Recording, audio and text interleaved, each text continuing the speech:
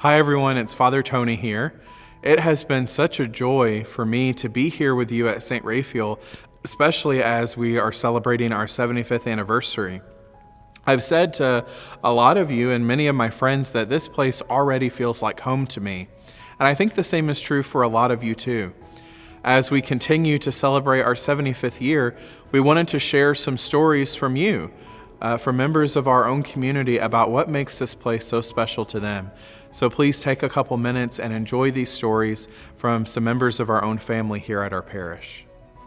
My name is Katie Mullen Guthrie.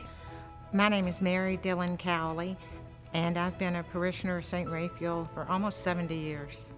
Yeah, my name is Mark Rocky, and I was baptized at St. Raphael in 1967, so that would put me at what, 55 years? St. Raphael has been a big part of my family's life. Of course, I went to school here and got married here. When we decided to have children, we immediately started looking for a house in this neighborhood because I, I wanted my kids to go here. And now I feel so lucky that some of my grandkids go here too. It's a family tradition. St. Raphael Parish has made a huge impact on myself and my family.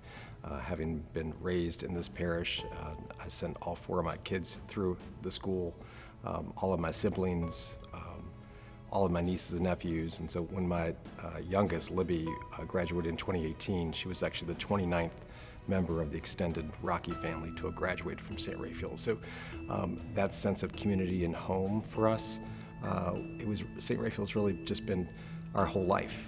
The word that would best describe St. Raphael to me is probably home.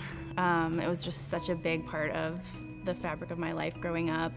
And um, since the moment that my husband and I set foot in the school um, about a year and a half ago, it has just felt like this is where we're meant to be. I'd say the best word to describe St. Raphael to me is really home.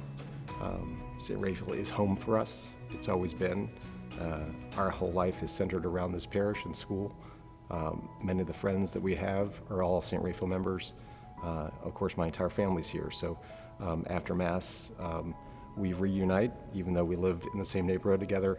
We certainly reunite and, and catch up on the week's events at the back of church. And, and so home, it really comes to mind when I think of St. Raphael.